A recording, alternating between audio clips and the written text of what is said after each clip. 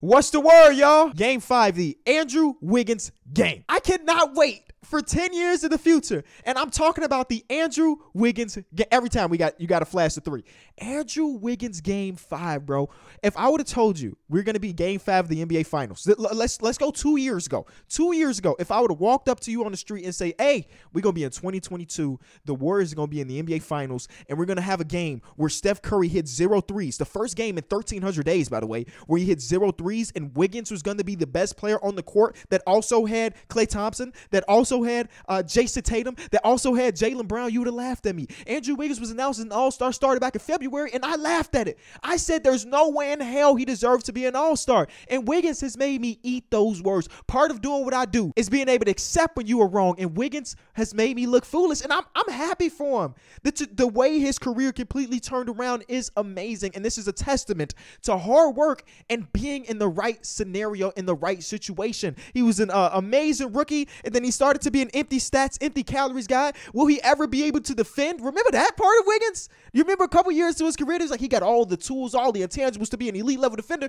but he don't care enough. We're in the NBA Finals, and bro has consistently through five games had Jayson Tatum in a stranglehold. Jayson Tatum in a stranglehold, and today 26 points in a game where Steph Curry struggled heavily. Come on, man. Last game he had he set a career high in rebounds because well, we're starting Otto Porter and you know we don't really have that great of a rebounders on our team. Somebody can do it. I guess it'll be me. Wiggins went from this dude that seemed like he was all about his buckets and nothing else to being the dirty work. I'm gonna do everything our team needs, guy. Think about Wiggins three, four years ago. He would have games where he had 20 points, one rebound, and one assist. You're like Wiggins, what the? If you ain't scoring, you're not contributing. That has completely flipped on his heads, and I am I'm looking for it. Listen, everybody knows what the conversation is about to be on Undisputed, on First Take, on whatever, you know, talk show thing tomorrow morning, right as this video is dropping. Is Andrew Wiggins the finals MVP? I'm not, I'm not accepting that. There's no way we about to discredit Steph Curry. Listen, I know he didn't have a good game today, but we're not about to act like game four didn't happen. We're not gonna act like before today he wasn't averaging 34 points per game on an extreme amount of efficiency. You feel me? He had one dub, bro. He had one dub. And they still won that game. You feel me? So far through five games, Steph Curry is the finals MVP. That's all I'm saying. And I know tomorrow that's all people going to talk about. And Wiggins deserves, if we're doing a hierarchy, no matter the team, who's second in MVP, it's Wiggins, but he's second. You feel me? Be sure to subscribe to my newsletter, the Enjoy Basketball newsletter. We are so very close to 30,000 subscribers. It's crazy to say. It's completely free. You just sign up. You get emails Monday, Wednesday, Friday. Some of some of the best sports writers that we can find, you know, give their takes and talk about all things basketball. The Enjoy Basketball newsletter. And if you're already subscribed, you should be checking your emails Monday, Wednesday, Friday, so you don't miss out on content. Like when we had that merch drop last week or two weeks ago, whenever the hell it was, I'm, I'm already forgetting. Um, the people that were subscribed to the newsletter knew the exact date and time before everybody. I'm just saying, drop number two is coming around the corner uh, faster than than even I anticipated. So you need to be subscribed to the newsletter. Again, it is free and it is just content, content, content. It is just step one of this thing that we're building, and I want you to be in on the on the ground floor. So subscribe to the Enjoy Basketball newsletter. Link is in the description. Anyway, let's get back to it. Andrew Wiggins. What what again? No, no, no. Let's talk about some of the other things too, because this was not solely the Andrew Wiggins thing. Andrew Wiggins had an amazing game, but you also saw some of the other step up. And if you watch our podcast, that is the Through the Wire podcast. Here I am just plugging everything. Through the Wire podcast, we're very close to 100,000 subscribers on YouTube. So if you're interested, we we publish on Tuesdays and we publish on Saturdays. Either way, um, in that, you know, sometimes I try to give people different content right? So you're like Kenny, why would I subscribe to your podcast channel when I hear all your NBA takes here? I give more over there. That's all I'm saying. And in the last podcast, which was Saturday, I was like, I'm a, only thing I'm a little bit afraid of if I'm a Golden State Warriors fan is that every single game Steph Curry had to be a supernova version of himself for us to win these games, for us to be in these games. And I was saying that it's unlikely that he continues if we're in the entire series. The what he was doing was amazing, right? It's like this is one of the reasons why he's one of the greatest of all time. But still, even the greatest of all times end up having duds. And I was like, I don't know what happens when he has a dud. Is somebody gonna step up? Klay Thompson had been the best version of himself. Um, Wiggins was doing his thing, but you know what I'm saying? Draymond Green was a neg- neg- neg- negative through the first four games. If he had a dud, what the hell is gonna happen? And what we found out is other people step up. And Wiggins again with his 26. Gary Payton the second got all the minutes we wanted. I said at the end of game four, I, he had nine minutes, and I was like, Steve Kerr, please play him more. 15 points from the guy. The, my shooter guard slash center is what we always like to call. You feel me? He had a couple duck in type possessions. We're like, he's six three. Yes. Um, and then who else was it? Jordan Poole hit the half court heave. Hey, when you hit a half court heave, it's like raps. That's all the momentum, especially when you look at that third quarter. It wasn't the avalanche that we normally see from the Warriors. It was the other way around. With the Boston Celtics come out with eight straight made threes, you're like, damn, what's go what's happening? And then for for um for Jordan Poole to come out and hit that last shot was big for the momentum. It was big for, for the crowd. And that's the second time he did a shot like that. You know what I'm saying? Shout out to him. But very early on, I was impressed with the way Draymond Green came out. You know what I'm saying? He he backed up a lot of his talk, right? Um, through the first four games, like I said, pretty much a net negative. He had been, I want to say, bad on defense because he's Draymond Green. He wasn't the guy that was the front runner for defensive player of the year through the first half of the season before he got injured. Uh, the, the other team was looking at him and like licking their lips. Jaylen Brown, though he was making a lot of tough shots through the first couple games of the series, he was really going at Draymond after game number two because game number two is when they switched the rotation. Um, and, and today he came out aggressive. He scored four easy points right off rip. He was out there passing, he was rebounding, and the overall stat line looked like eight points, six re- or uh, six assists, eight rebounds. A really good game from Draymond Green, even though, you know what I'm saying, it's Draymond Green. So you got some antics where he's getting into the face of the opposing team. He ends up fouling out. The first player since like 2000, they said, to foul out of, of three NBA Finals games. Hey, it's part of Draymond Green's brand at this point, fouling the hell out. Uh, but again, a good performance from him as well. And, and in my mind, um, there's only a few things that can beat this Boston Celtics team. Um, it took a supernova performance from Steph Curry in game number four, and then Wiggins having an out, uh, of body experience considering the complete game that he get he's given up. But the one thing that was consistent in every single one of their losses is that they've been shooting themselves in the foot every chance they get. There's a stat that has been going around for the beginning of this game. They showed it two times on the broadcast that when they're when they have 15 plus turnovers, they don't win.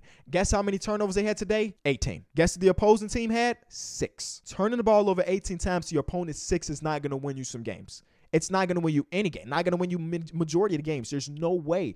And that that's been the one consistent thing for all of the pretty much all the Boston Celtics losses through the last 4 months of basketball is like when they're shooting themselves in the foot, they will not they they will not win. There's only a few things that can beat them, and themselves is one of those things. There was the second quarter, and I think it was B Souls that made the tweet. Um, but I was thinking the same thing. They got into they got the words into early foul trouble. They were in the bonus with like eight minutes left in the second quarter, and you would think when you get that, you would get to the basket a little bit more because that's what that's what got you to this position. We get to the second quarter, it's like five straight possessions where it's nothing but three pointers, and though they finally made one, it's like man, the let's go back to what was working. Let's get it downhill and doing some of these things. They just didn't they didn't do that today. Um, and it's just unfortunate. You know what I'm saying? I, I think a game like this showed the age or the lack of experience from some of their top guys. They had a game where Steph Curry gave them a dud. This is a game you need to win. This is a game you you definitely need to win because I don't know out of the last two games and maybe last one game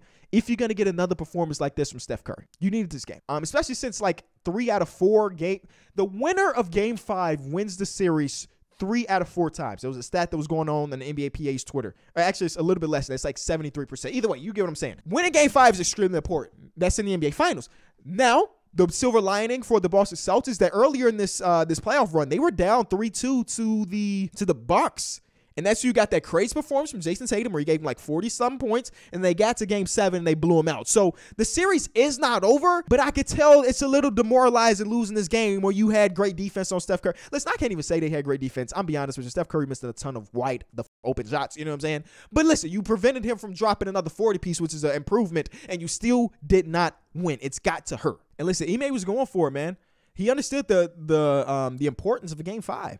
We got Jayson Tatum playing 44 minutes. Jaylen Brown played 44 minutes, 40 minutes for Marcus Smart. They were legitimately running like a, a six, seven man rotation for the majority of this game because they understood the magnitude that is game five. They get one more home game, and you got to go back into that Chase Center that was as loud as ever and try to steal one. It's one game at a time at this point. There is no tomorrow. That's the mindset you got to have. There is no tomorrow. This next game, which is on Thursday, which I like, they give them some time to travel and kind of settle down so the product that we get is not terrible. There is no game. There's no game after that. You have that mindset going to game number six like this is a win or go home situation. When I'm looking at this, right, I'm looking at the box score right now. I'm gonna I'm gonna read something.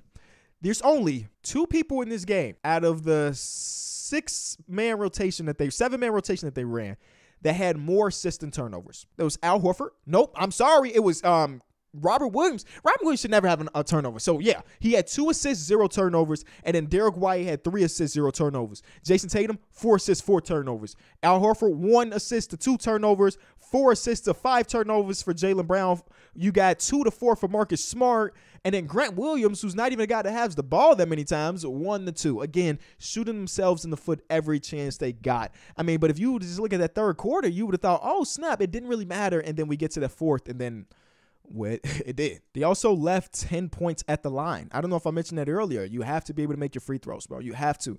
And you lose by 10, you left 10, 10 at the free throw line. Asking a team to shoot 100% from the free throw line is unrealistic. But you give yourself a way better chance the fact that you don't have to play Luke Kornet any minutes. You know, if you hit six more of those free throws. You know what I'm saying? Shoot 60% better from the free throw line. Is that too much to ask for? I, it shouldn't be because you guys are NBA players and some of the best, and that's why you're in this position. But leaving 10 at the line is insane. They got 31 attempts. I didn't even realize it was that many. They got 31 attempts, and I, I was getting tweets about like Kenny, what do you think about the officiating? Yada yada yada. I'm so done. I'm not. Listen unless it is something super egregious. And I mean super egregious in game six or game seven, I will not be referencing the, the officiating because we all agree that it's ass. What more do you want me to say from that? It's bad. You know, even Mark uh, Mark Jackson on the call was saying that, hey, eventually you gotta you gotta step up from yourself, and that was after the Marcus Smart technical foul in the third or early fourth quarter. Uh, agreed, but like this is what the referees have been doing. You know what I'm saying? It, it, I don't I don't think we have the conversation of how we fix it in the middle of the NBA finals. And honestly, I don't know what the answer is. So if we go into next season, how do we make officiating better? I don't know.